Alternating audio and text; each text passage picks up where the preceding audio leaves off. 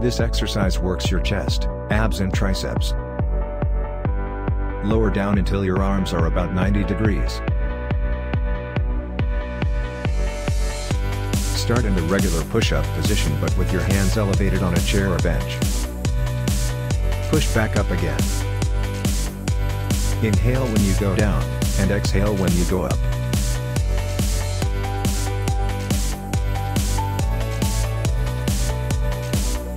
If your elbows are close to your body, you'll focus more on your triceps, otherwise on your chest.